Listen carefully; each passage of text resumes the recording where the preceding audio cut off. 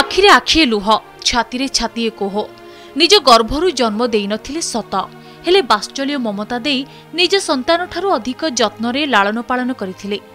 ସେହି ସନ୍ତାନକୁ ଯେତେବେଳେ ପ୍ରଶାସନ ଛଡ଼ାଇ ନେଲା କେମିତି ସହିପାରିବେ ଯଶୋଦା ମା? ପିଲାଟିକୁ ଝୁରି ଝୁରି ପୁରା ପରିବାରରେ କାନ୍ଦ ବୋବାଳି ପଡ଼ିଛି। ଏଭଳି ଏକ ହୃଦୟ ବିଦାରକ ଘଟଣା ଦେଖିବାକୁ ମିଳିଛି ଭଞ୍ଜନଗର ବ୍ଲକ କାଳିଆପଲ୍ଲୀ ଗାଁରେ। ଅଗଷ୍ଟ ତେର ତାରିଖରେ ତୁଷାର ନାଇକ ଅଟୋରେ ଫେରୁଥିବା ବେଳେ ତିନି ଛକିଆ ବାରଦଣ୍ଡା ରାସ୍ତା କଡ଼ରୁ ଏକ ନବଜାତ ଶିଶୁ ପୁତ୍ର ପାଇଥିଲେ। ତୁଷାର ପିଲାଟିକୁ ଆଣି ତାଙ୍କ ମାଇଁ ଝୁନୁ ନାଇକଙ୍କୁ ଦେଇଥିଲେ। ଝୁନୁଙ୍କ ଝିଅ ସରସ୍ୱତୀଙ୍କର କୌଣସି ସନ୍ତାନ ନଥିବାରୁ ସେ ପିଲାଟିକୁ ନେଇ ଅତି ଯତ୍ନରେ ଲାଳନ ପାଳନ କରିଥିଲେ। ତେବେ ଗତ ତେଇଶ ତାରିଖରେ ପିଲାଟିକୁ ଜ୍ୱର ହେବାରୁ ତାକୁ ଭଞ୍ଜନଗର ମେଡିକାଲରେ ଭର୍ତ୍ତି କରିଥିଲେ।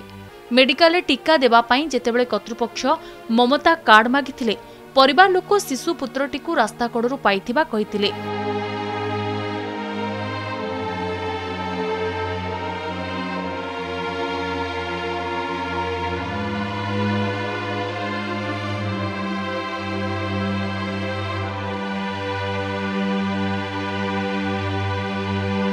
ପୁଅର ଦେହ ଖରାପ ଥିଲା ଆଣିକିରି ଶନିବାର ଦିନ ମେଡ଼ିକାଲରେ ରଖା ହେଇଥିଲା କାଲି ଟୀକା ଦେବା ପାଇଁ ନେଲାକୁ ମମତା କାର୍ଡ଼ ମାଗିଲେ ମମତା କାର୍ଡ଼ ମାଗିବାରୁ ମମତା କାର୍ଡ଼ ନାହିଁ ବୋଲି କୁହାହେଲା ନାହିଁ କହିବାରୁ ଗାନ୍ଧୀ ପିଲା କେଉଁଠୁ ଆଣିଲେ ବୋଲି ପଚାରିଲେ ପଚାରିବାରୁ ଆମେ କହିଲୁ କି ପିଲାକୁ ଗୋଟେଇ ଆଣିଛୁ ଗୋଟେଇ ଯେହେତୁ ଆମେ ଦୁଇ ମାସ ହେଲାଣି ସେ ପିଲାକୁ ପାଳିକି ରଖିଛୁ ତାର ନାଇଁ ନାଗିଥିଲା ବ୍ଲଡ଼ ବି ନାଗିଥିଲା ସେ ପିଲାକୁ ଆମେ ରଖିବା ପାଇଁ ଚାହୁଁଛୁ। ଆମର ଭାଇ ନାହିଁ ତ ଦୟା କରିକି ଆମେ ସେ ପିଲାଟାକୁ ଦିଆଯାଉ। ପିଲାଟାର ବ୍ଲଡ଼ ଲାଗିଥିଲା ନାଇଁ ଜଣା ଲାଗିଥିଲା ମୋତେ ଆଣିକି ଦେଲେ। ଖେଳୁ ଯୋଉଠି କାନ୍ଦୁଛ ଦେଲାକୁ ମୋତେ ମୁଁ ପିଲାଟାକୁ ରଖିଥିଲି ଦୁଇ ମାସ ହେଲା ପାଳିକି ରଖିଥିଲି। ମେଡ଼ିକାଲ ପିଲାକୁ ଆଣିକି ଦେଖେଇଲି ପିଲାକୁ ବି ଦେହ ଭଲ ନଥିଲା ମେଡ଼ିକାଲରୁ ନେଇଗଲି। ଆଣିବି ବୋଲି ଚାହୁଁଛି ମୁଁ ରଖିବାକୁ ଚାହୁଁଛି ମୋର ପୁଅ ନାହିଁ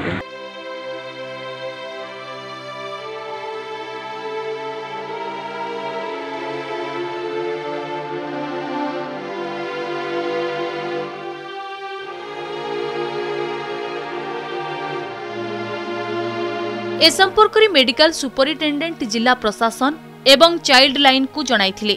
ବ୍ରହ୍ମପୁର ଚାଇଲ୍ଡ ଲାଇନ୍ର ଏକ ଟିମ୍ ଭଞ୍ଜନଗର ଆସି ପୋଲିସ ସହାୟତାରେ ଶିଶୁପୁତ୍ରଟିକୁ ନେବାକୁ ଚାହିଁଥିଲେ।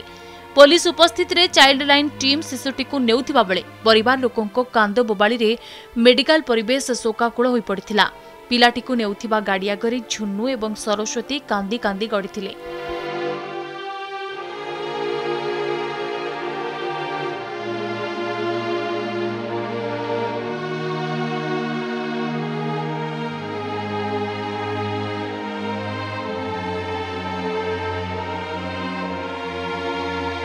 ଭଣଜା ଆଣିଥିଲେ ଆଣିକିରି ତାଙ୍କୁ ଦେଇଥିଲେ ପିଲାକୁ ଆଙ୍କୁ ପୋଷିଥିଲେ ସେ ପିଲା ପାଇଁ ବୋଲି ଆଙ୍କେ ମେଳା ମାନେ ତା ପିଲା ପାଇଁ ବୋଲି ବହୁତ କିଛି କରିଛନ୍ତି ପିଲାଙ୍କୁ ତ ଜ୍ୱର ହେଲା ବୋଲି ଆଇଲେ ମେଡ଼ିକାଲକୁ ମେଡ଼ିକାଲରୁ ଯେତେବେଳେ ସବୁ ମାଗିଲେ ଟୀକା ଦେବା ପାଇଁ ତାର କ'ଣ କାଗଜପତ୍ର ମାଗିଲେ ତାଙ୍କେ ଠିକ୍ କାଗଜପତ୍ର ଦେଇପାରେନି ସେ ଅଙ୍ଗନବାଡ଼ି ଦିଦି କ'ଣ କଲେ ଚାଇଲ୍ଡ ହେଲ୍ପଲାଇନ୍କୁ ଫୋନ୍ କରିକି ପିଲାଟାକୁ ଧରିକି ପଳେଇଲେ ଆଉ ପିଲାଟାକୁ କେମିତି ଫେରେଇ ଆଣି ତାଙ୍କୁ ଦେଇଦେଇଥିଲେ ଭଲ ହେଇଥାନ୍ତା ଆଉ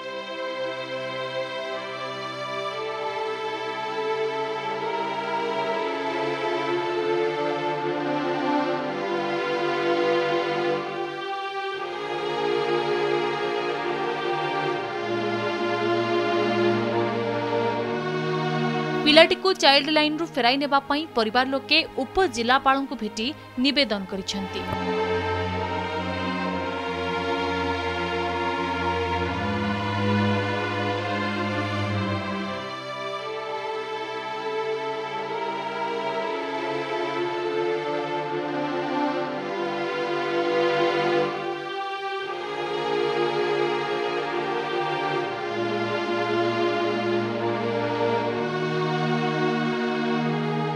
ନିଜ ଗର୍ଭରୁ ଜନ୍ମ ଦେଇନଥିଲେ ମଧ୍ୟ ନିଜ ସନ୍ତାନଠାରୁ ଅଧିକ ଭଲ ପାଇବା ଦେଇଥିଲେ।